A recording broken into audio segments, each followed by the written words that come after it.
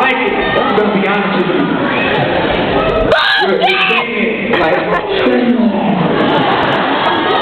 how many of you guys seen the movie Gladiator? Okay, this is the Coliseum. And when I ask you, because the cameras are on, you don't want us to go online for me to say, what's the hardest part of Europe? You guys go. You gotta make sure the people in England understand.